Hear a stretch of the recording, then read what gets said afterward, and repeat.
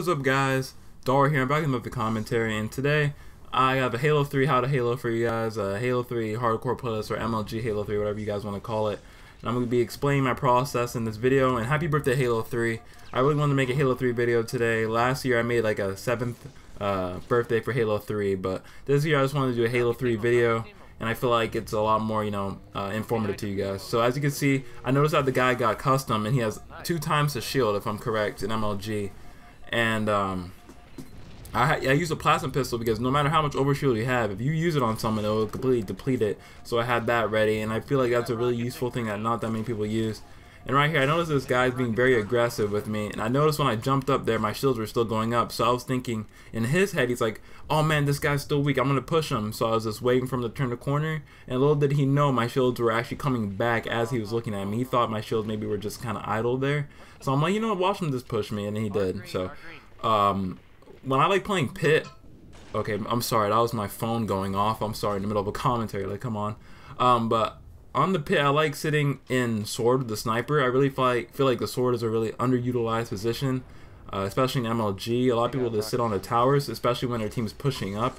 And I feel like that's kind of dumb because if you're sitting on the towers when your team's pushing up, what can you see from the tower? All you can see is your side, and all you can see is their S1 and their S2, and kind of up there, uh, maybe like a little bit of their training if you they were really to push up or something but you couldn't really see much of the enemy side so I like sitting in the sword. As you see me I'm choking on some snipes right there. I don't know what I'm doing.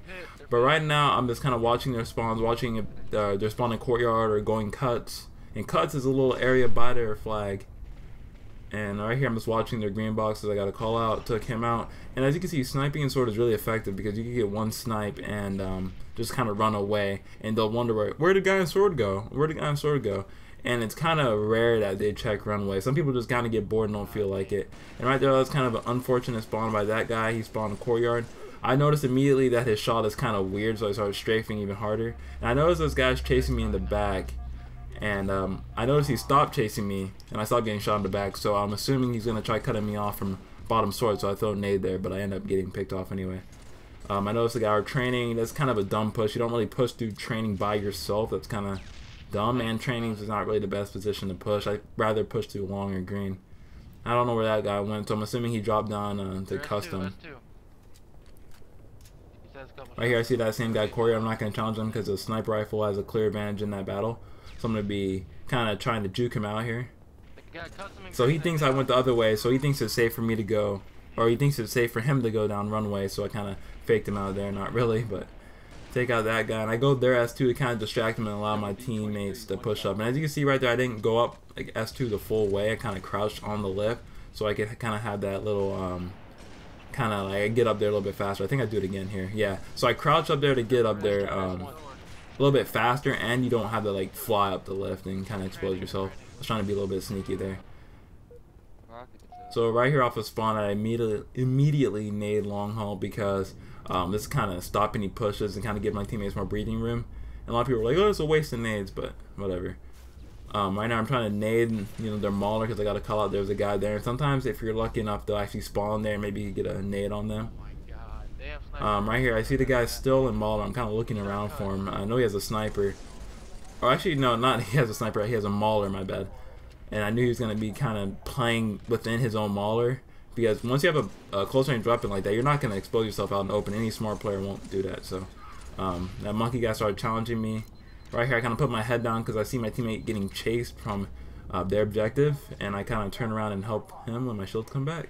So we're kind of pushing courtyard because that's the only place they could spawn because our team's all over their uh, objective and uh, what the heck is that noise? Oh, that's a jet. Okay, and and their uh, needles. So we're just kind of checking courtyard spawn.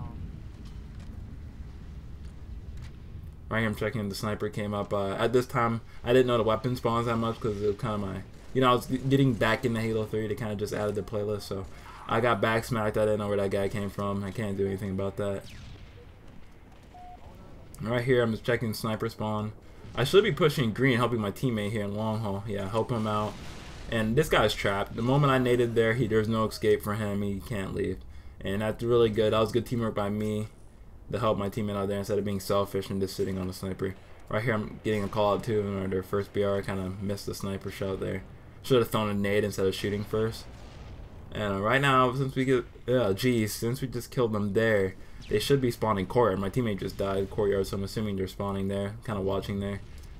You guys may have seen a lot of pros that sit there um, watching courtyard spawns, putting their cursors there, or crosshairs. Oh my gosh, that was awful sniping by me. I should have pulled out my BR a little bit earlier instead of trying to go for the flashy snipe. Checking sniper spawn again. I don't know what I'm doing. I should be pushing green or long hall with, uh, with my teammates. H34 here, or my teammate. And that's what I'm doing here. He just do a nade long hall, so I'm assuming they're going to green. And they don't. They probably see my nades. I probably uh, prematurely threw those nades. And right here, I see the guy sniping back there, so I should be backing up here. I shouldn't be challenging that hard because that's an easy snipe for him. Kind of nade there so they don't push up and kind of stop them. See my teammate getting hurt right here. The guy got caught off guard and I get an easy kill off of that. And my teammate made that guy weak and um, that's two dead for them. I think my teammate just killed another guy too, so that's three dead, and the last guy's a sniper. So we're calling him out. We're like sniper and Mauler, and I actually, I think I get a kill on a guy who just spawned or something. And uh, right now I'm waiting for my rocket guy to kind of push up, see what he's doing. I push off on this guy so he knows that, you know, hey, this guy's weak. But the game's pretty much over. Hope you guys enjoyed the video. That was kind of my short tidbits on how to play Pit, what I did that game. But thank you guys so much for watching the video. I'm out. Peace. Hope you guys enjoy Halo 3. Halo 3's 8th birthday. I really encourage you guys to go out and play today. Honestly, in my opinion, it's probably the best Halo game they ever made. Halo 3 and 2 are my favorites. So, hope you guys enjoyed the game. Hope you guys enjoyed the video. I'm out. Peace.